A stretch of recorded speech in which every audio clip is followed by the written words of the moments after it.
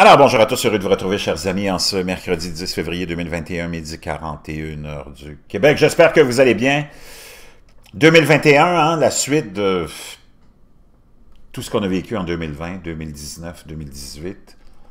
Et on arrive à un point culminant, je pense. Je ne sais pas ce qui nous attend, ce qui nous pend au bout du nez, mais ça va être une année très éprouvante.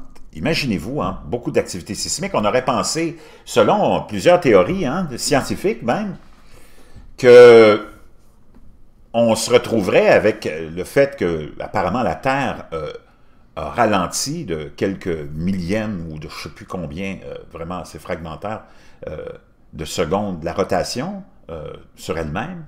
Habituellement, apparemment, ça nous amène une pause dans l'activité sismique, et c'est tout le contraire qu'on est en train de vivre depuis le début de 2021, parce que on est dans des cycles, mes chers amis, je pense, dont personne n'est vraiment conscient de l'ampleur.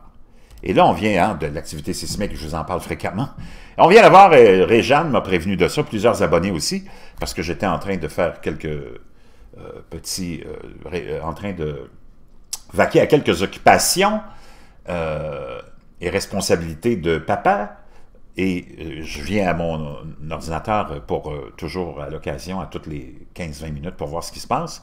Et on a eu un séisme, imaginez-vous, de 7,7 qui a frappé le sud-est des îles euh, Loyauté en Nouvelle-Calédonie. Et on a un avis de tsunami qui est toujours en vigueur, apparemment. Donc, un tremblement de terre peu, peu profond enregistré par la USGS comme M7.7, c'est assez, wow, assez puissant, a frappé le sud-est des îles. On peut voir ici l'épicentre sur la base des paramètres, il n'y a, personne qui vit à moins de 100 km, tant mieux. Du tremblement de terre, des vagues de tsunami dangereux généralisées, généralisées sont possibles, a déclaré euh, l'agence. Des vagues de tsunami dangereuses causées par ce tremblement de terre sont possibles dans les trois prochaines heures le long des côtes du Vanuatu, de la Nouvelle-Calédonie, des îles Fidji, des îles Kermadec, de la Nouvelle-Zélande, des Tonga, des îles Salomon, Wallis, Futana, euh, Tavalu et Niue. Donc, un tremblement de terre de 7,7 qui a été enregistré en plein océan du côté du Pacifique, à quelques centaines de kilomètres de la Nouvelle-Calédonie, nous rapporte Météo Média d'une magnitude, ça c'est le lien de Réjeanne, merci à Réjeanne en passant, de 7,9 ou 7,7 ou 7,9, ce tremblement de terre pourrait générer un tsunami.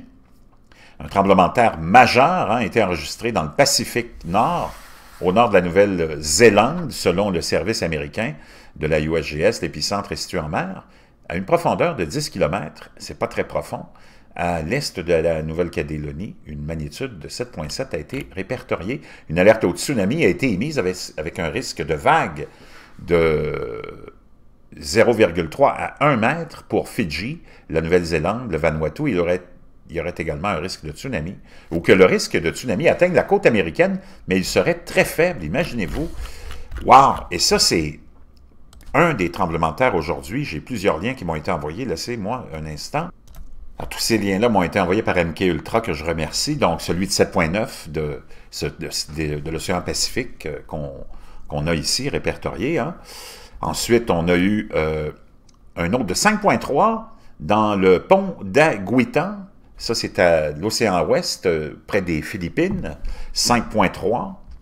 Euh, ça, c'est tout ça, c'est dans les dernières heures. Toujours en Indonésie, dans l'archipel euh, de Tanjuangagung, 5.1. Ensuite, dans, proche du Chili, 5.6.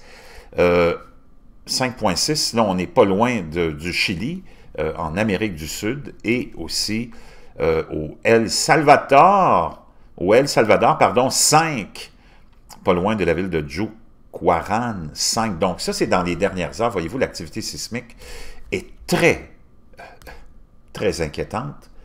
Pour ceux qui nous avaient annoncé qu'il n'y aurait pas beaucoup d'activité sismique ou que ça serait en, ce serait en diminution avec la rotation de la Terre qui euh, a ralenti, je ne sais pas, je pense qu'il va falloir revoir cette théorie-là. C'est pas fini, je ne sais pas ce qui nous attend, chers amis, mais j'ai toujours comme principe qu'il faut, si on veut être bien armé pour faire face à la vie, toujours se préparer au pire dans toutes les circonstances.